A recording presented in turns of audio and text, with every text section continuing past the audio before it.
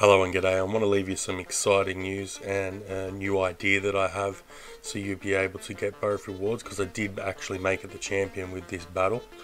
I'll press play and you can see it and I'll keep talking and explain. So my other account's at diamond and it means that the chests that I collect at diamond cost a certain amount and then it changes each season. Then the chest I've got at champion cost me a certain amount to get it champion. So I played one account all the way to champion. I have a second account that's at diamond.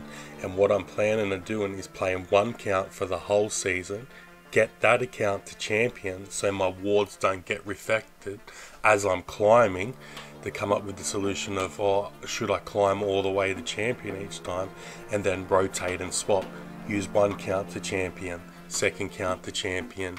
And by doing that your season rewards will be much greater and a lot more better.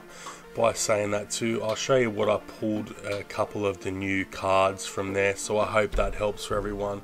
That should be able to make it a lot easier so you'll be able to uh, keep getting your rewards because that's what I was stuck at. I was like, oh, what am I going to do? Am I just going to stay in diamond? But we'll come up with a solution and hopefully it helps and I share that with you as the example. See, so it cost me 90 because this was the accounting champion to get to the next chest. That's what I was talking about. So, where this account's only 40.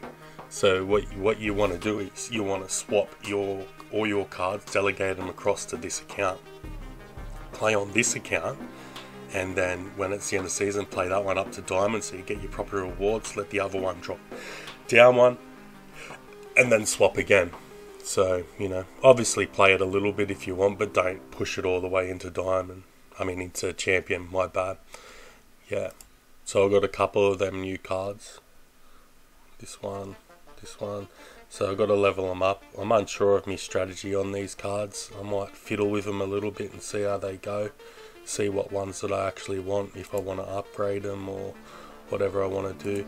There's probably more hype on them at the moment, so they might stay a little bit. Well, yeah, some of them are reasonable.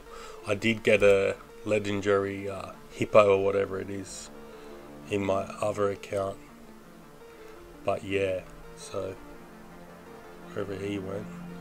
I don't think he's in this account. But cool, let's go straight to the guild battle and then I'll have a couple of them. I'm going to boot off now. I hope this helps. Hooray and goodbye and stay tuned for more content.